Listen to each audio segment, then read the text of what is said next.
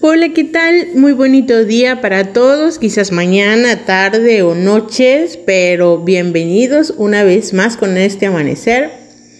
Aquí en la casa del rancheretti, gracias por tomarte el tiempo y darme la oportunidad de entrar a tu hogar o a sus hogares a través de este video.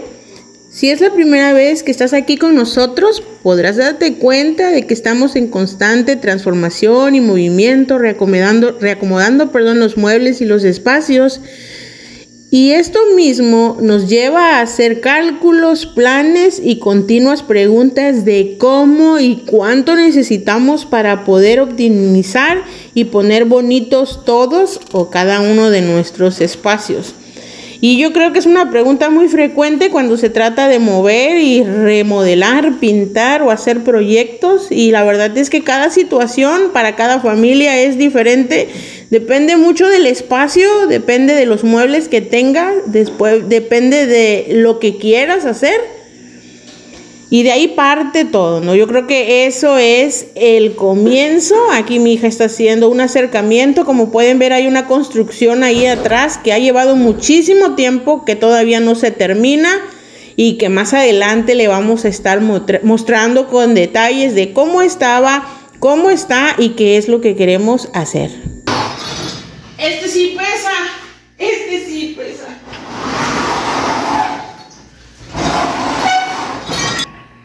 Tanto esfuerzo para que no me guste cómo queda y a poquito que tenga yo que regresar. Quítate, Caleb, please. Uy. ¡Ay!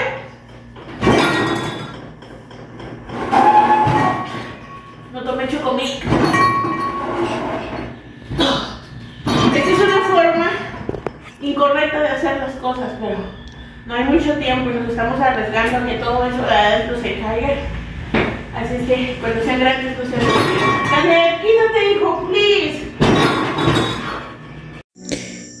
Como pueden ver por el momento, yo estoy dando otra movida a otros muebles que tengo aquí en mi cocina, porque por el momento es lo que puedo hacer, jugar con la logística de los muebles hasta que sienta que estoy en la cocina de mis sueños. Posteriormente se tienen que hacer algunas reparaciones en la pared, eh, cambiar algunas puertas, poner el piso. Son muchos gastos que se tienen que prever para futuro.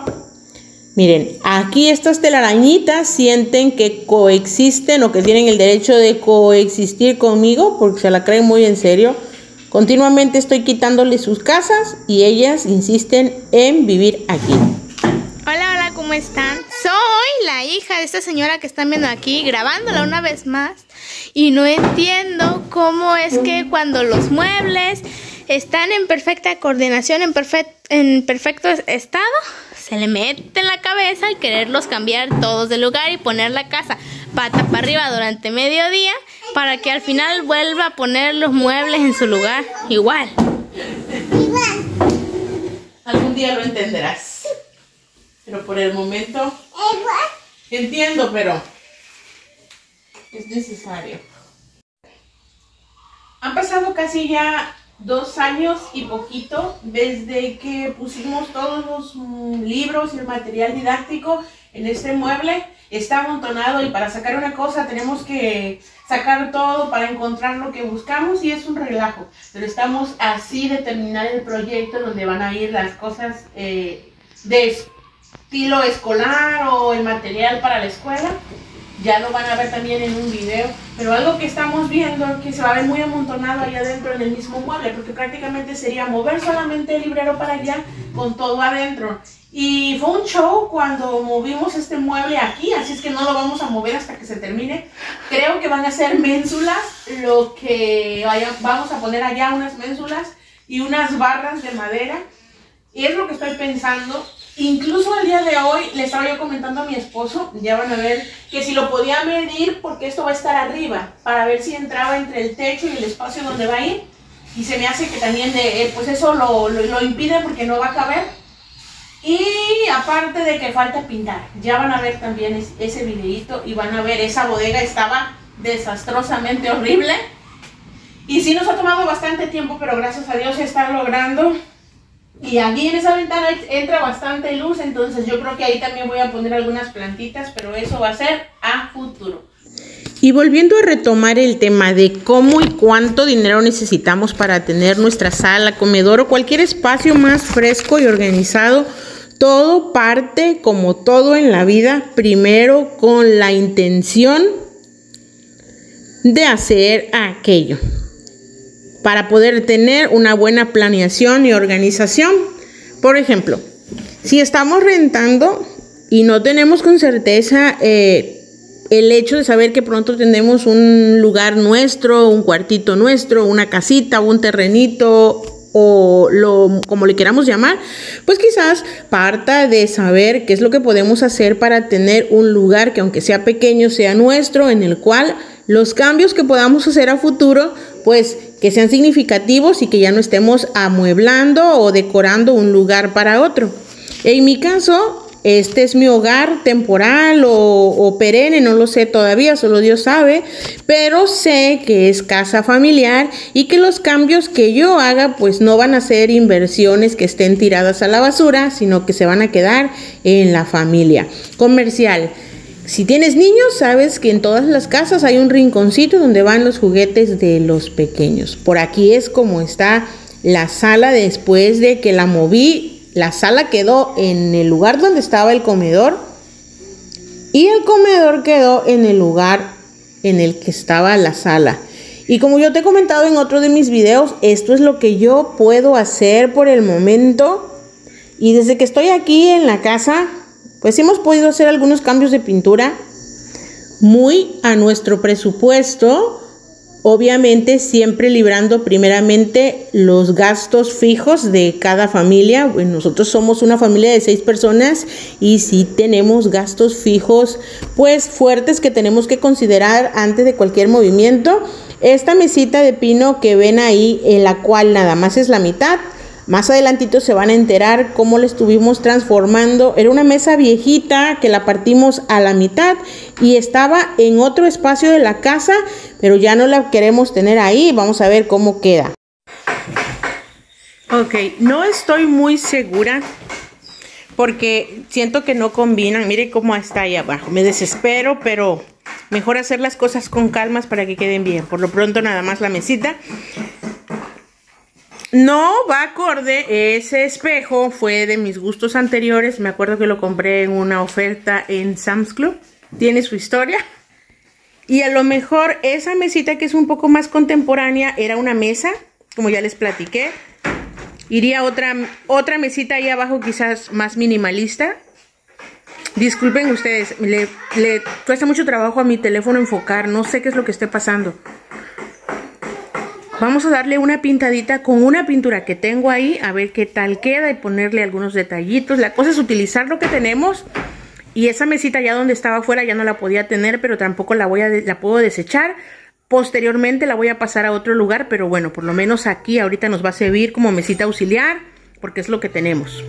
Bueno, creo que ya les había comentado que no me convencía cómo quedaba ahí la mesa. De hecho, eh, estoy haciendo pruebas, no se va a quedar de ese color porque ya no tengo de ese color necesito, quiero darle una manita de pintura, pero lo que voy a hacer ahorita, antes de que sea más tarde, es que quiero dar una limpiadita a los sillones, para que mañana que le ponga las telas que le pongo, para que Caleb no ensucie tanto, pues ya estén un poquito más limpios.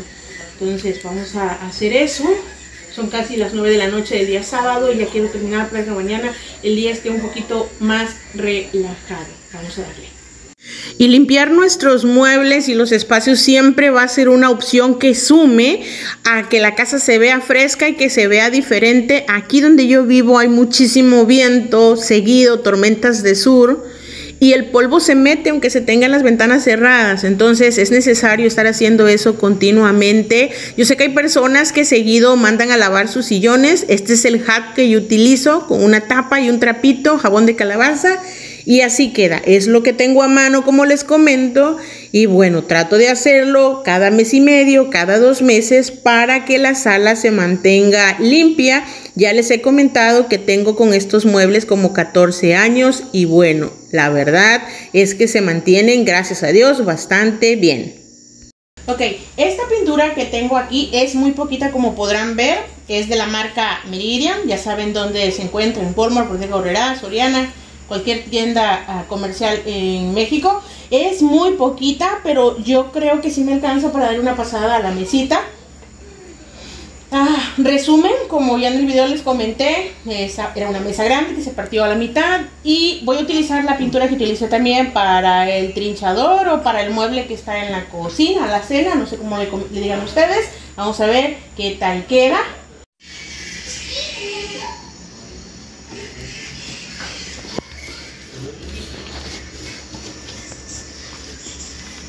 Yo estoy muy consciente de que si quisiéramos que el trabajo se viera más prolijo, con sellador se podría sellar esas, esos espacios donde iban clavos, que los brochazos están muy gruesos porque es la brocha que tengo, ya no tengo otra, no hemos salido, es poca la pintura, es de noche, son muchas cosas en contra, pero bueno, esta semana eh, vamos a estar bastante ocupados, no vamos hacer cositas aquí adentro de la casa y quiero que quede listo y quiero que se vea bonito. Miren, una telaraña ahí. Y bueno, es lo que tengo a mano y como les he comentado ya en otros videos, estos pequeños cambios son con lo que ya tenemos en casa sin gastar, tratando de reacomodar, porque pues ahorita no podemos hacer grandes inversiones en mobiliario ni en pintura, el recurso que entra es para hacer modificaciones que son sumamente necesarias y pronto, primeramente Dios, muy pronto vamos a empezar a hacer cambiecitos aquí adentro de la sala también, pero tenemos que terminar otro proyecto que también les queremos mostrar. Y de manera muy personal, mientras limpio mi espejo con vinagre de manzana, porque es el que tengo, te comento que yo pienso que no tiene que ser caro ni perfecto para ser bonito. Si algo quieres hacer en tu hogar, algún cambio con una repisa, con pintura, todo tiene que partir primero desde la planeación, del decidir lo quiero hacer para intentarlo. El presupuesto lo decide tu bolsillo. ¿Cuánto necesitas? Es en realidad lo que tienes en casa y a la mano. Quizás en 100, 200 mil pesos, qué sé yo. Tú conoces y Dios tu realidad y nada de eso tiene que robarte la paz. Mientras tanto, yo me puse a hacer después de esto una manualidad para un centro de mesa porque pues ya viene Pascua y para nosotros si es importante sentarnos a la mesa con los más pequeños de la casa y tener una plática acerca de nuestra fe.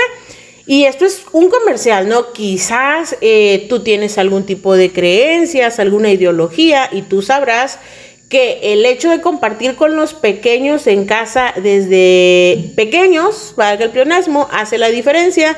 Entonces, aparte de que estoy haciendo un centro de mesa, más que nada es una charla con mis dos hijos más pequeños, con el más pequeño más que nada que es el que se entretiene mucho haciendo proyectos en casa de madera, con piedras, con palitos. Y al final del video te voy a dejar cómo queda y una pequeña imagen de los cambios o no cambios que puedas ver en este video. Sin quitarte eh, la idea original que para hacer cualquier proyecto todo debe de partir con la intención y que en realidad se necesita muy poco cuando pones sueños, ganas, amor y mucha, mucha, mucha fe y confianza en aquello que tú estás haciendo. ¿Cómo ves? Coméntame qué piensas acerca de esta filosofía de vida.